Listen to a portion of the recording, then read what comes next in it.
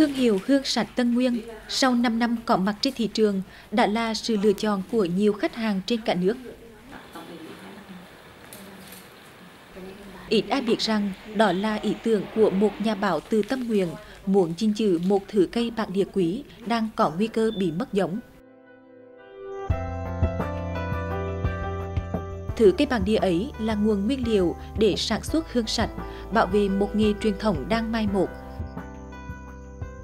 Và quan trọng hơn cả, để bảo vệ môi trường và sức khỏe cho con người.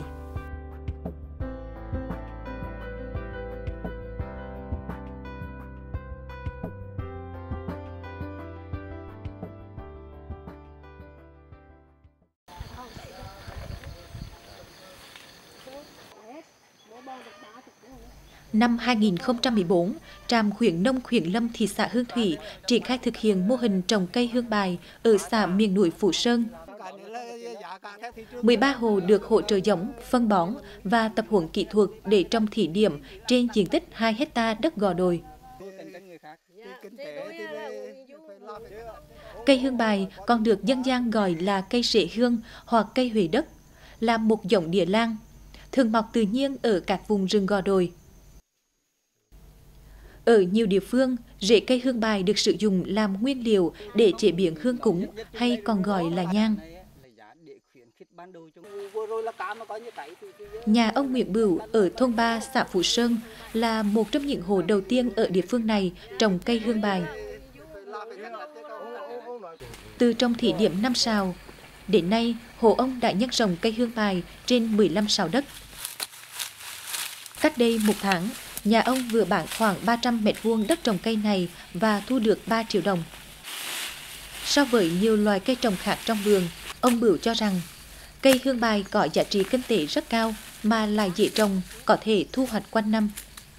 Hiện nay mà như vùng này là có như mình trồng thì khi cỡ khoảng một ờ, hơn một năm thì mình có thể bán nhưng mà đến hai năm và một rầm rưỡi hai năm khi nào mình vẫn bán được hết là thu hoạch được hết để không hư cái thứ hai nếu mình cột trồng xen canh vô dưới gốc tảng cây nó vẫn chịu. Toàn bộ là, là đất mà không xen canh á mét vuông khoảng là trồng được 6 cây. Để làm là mình thu hoạch được một cân rưỡi cân một cân là chín ngàn. Thì à, một cân rưỡi 13 nghìn năm trăm. Thì một mét vuông là 13 nghìn năm trăm thì tính lại là một hecta của ta là tối thiểu phải được là 135 triệu. Phát triển tốt quanh năm có thể trồng dưới tán lá, không bị ảnh hưởng khi phun thuốc diệt cỏ. Rễ cây có thể cải tạo đất trồng cho cây lâu năm trồng xen kẽ. Hạt cây hương bài lại là thức ăn tạo khả năng miễn dịch cho gà. Đặc biệt, hương bài là giống cây ngạn ngày, trồng khoảng một năm là có thể thu hoạch. Nếu trồng sen ở nhiều thời điểm trên những diện tích đất khác nhau, loài cây này có thể giúp người trồng thu hoạch quanh năm đem lại thu nhập ổn định cho người nông dân vùng gò đồi. Sau ờ, một thời gian ờ, tổ chức thực hiện thì bà con nông dân là à, thấy rất phấn khởi và do hiệu quả ờ, đem lại rất là cao. Và chúng tôi nhận thấy rằng cây hương bài là một cây có triển vọng. Triển vọng ở đây là vì rằng nó thích nghi trên diện rộng phù hợp với là điều kiện khí hậu thời tiết và nông hóa thổ dưỡng. Và triển vọng thứ hai nữa là là là có một cái cái, cái thị trường rất là rộng lớn là tiêu thụ trong nguyên liệu này. Và một cái quan trọng nữa thì đây là một cái nguồn nguyên liệu mà thay thế rất cơ bản, thay thế cho các cái dạng hương khác sản xuất ra độc trên thị trường hiện nay. Trong hai năm thực hiện cái diện tích bây giờ cũng tương đối thôi, thì có thể đến 5 6 hecta. À, nhưng mà qua cái khai thác vừa rồi thì bà con là mang lại cái thu nhập rất là cao.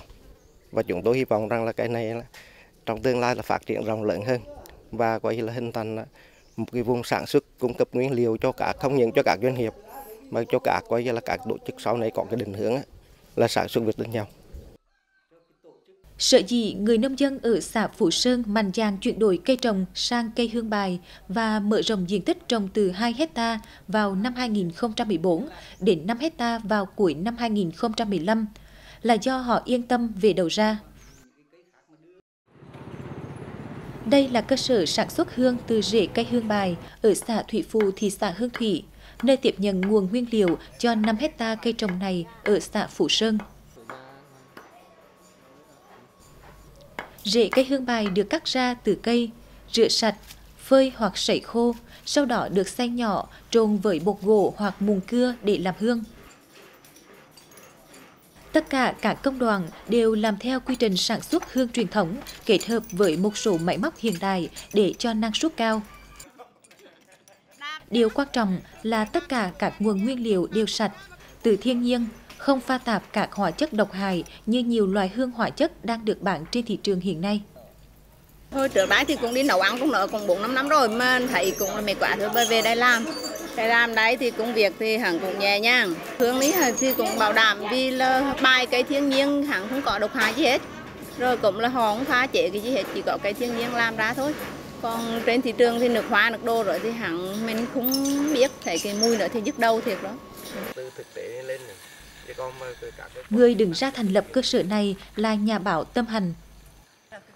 Ông cũng chính là người nuôi ý tưởng phục hồi lại giống cây bản địa có tên là rễ hương hay hương bài này để khôi phục lại một nghề truyền thống. Đó là nghề làm hương.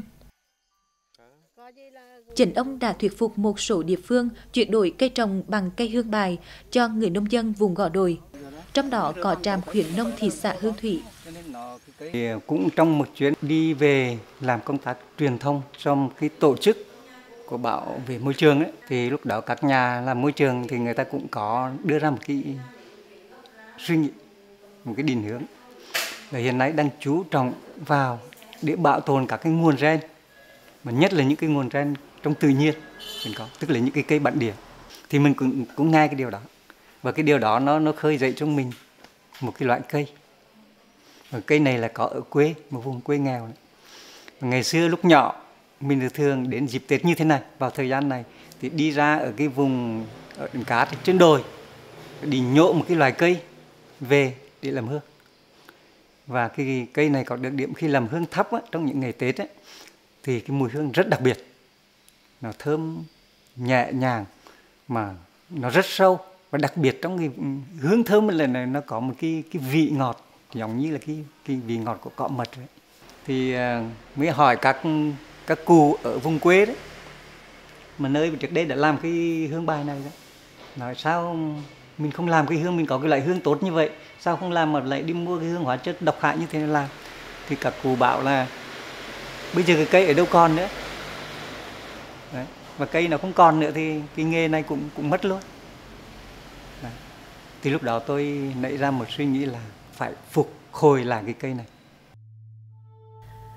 Người Việt Nam có phong tục thắp hương trên bàn thờ Phật, bàn thờ tổ tiên quanh năm, đặc biệt là vào những ngày rằm và ngày đầu tháng âm lịch, các ngày lễ Tết.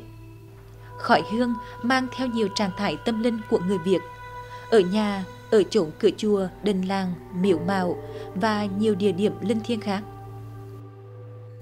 Có thể nói, nhang hương là mặt hàng được tiêu thụ thường xuyên và nhiều nhất ở nhiều địa phương, đặc biệt là với người dân Huế. Để cung cấp cho thị trường tiêu thụ đầy tiềm năng này, nhiều nhà sản xuất vì ham lợi nhuận đã sử dụng hóa chất rẻ tiền và độc hại để tạo mùi hương, tạo tính kết dính cho tàn hương không rơi khỏi que, đánh vào tâm lý tín ngưỡng của người tiêu dùng. Nhận trách nhiệm là người cung cấp giống, nhân rộng vùng nguyên liệu, đồng thời là nơi tiêu thụ đầu ra cho cây trồng bản địa này nhà bảo Tâm Hành huy động cả gia đình và người thân thành lập công ty sản xuất hương sạch Tân Nguyên với các loài hương và trầm chủ yếu làm từ rễ cây hương bài. Kỳ hương là nó gói gọn tất cả những cái gì của quê hương của sự trong sạch, của sự tiên kiết của sự cao sang của này, nó làm thức tỉnh trái tim của con người. Và, và những cái điều đó bây giờ thập hương thì cái yếu tố tâm linh giống như là cơm ăn, như nước uống thôi. Và điều ở chỗ thì bây giờ ta cũng mong làm sao nước uống cũng phải sạch. Cơm ăn cũng phải sạch. Thức ăn cũng phải sạch.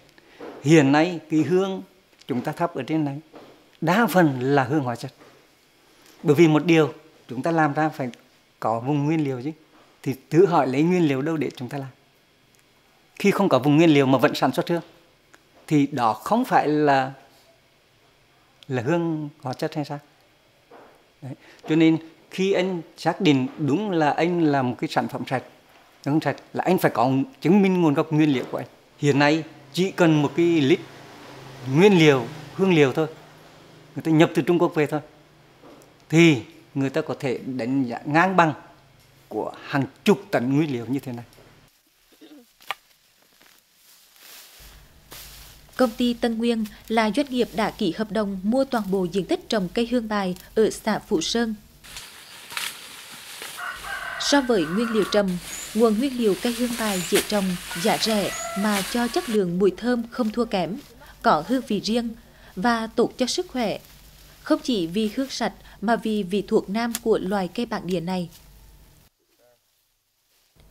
Điều quan trọng hơn nữa là nó đem đến một hướng đi mới, giải quyết câu hỏi trồng cây gì để phù hợp với thổ nhưỡng, vốn đầu tư thấp nhưng đem lại hiệu quả kinh tế ổn định cho người dân ở một số địa phương miền núi khó khăn. Với 60 sản phẩm hương nhang và trầm làm từ rễ cây hương bài, Tân Nguyên hiện cung cấp mặt hàng này cho nhiều thị trường trên cả nước và đang rất được ưa chuộng. Nguồn nguyên liệu 5 hecta ở xã Phú Sơn chưa cung cấp đủ cho việc sản xuất hàng ngày của công ty. Vì vậy, cần được nhân rộng ra ở nhiều vùng thổ nhưỡng phù hợp khác trên địa bàn Thừa Thiên Huế như Nam Đông, A Lưới, Phong Điền, vân vân.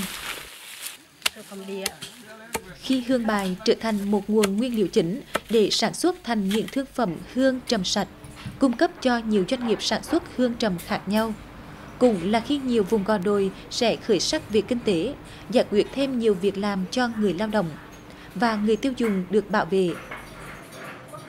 Là khi nghề truyền thống không bị mai một, người dân việc đến giá trị của cây trồng bản địa. Nhà báo Tâm Hành nói rằng, đó là khi ông đã toàn nguyện cho cuộc hành trình đi tìm và thực hiện ý tưởng của mình từ cây hương bài. Sau 5 năm, cái kết quả lớn nhất là gì? Đó là đã tạo ra được một loài cây trồng mới cho bà con nông dân ở vùng đất khảo. Đó là cái thành quả lớn nhất. Đó là cái điều mà mong ước của tôi đã đã thành hiện thực.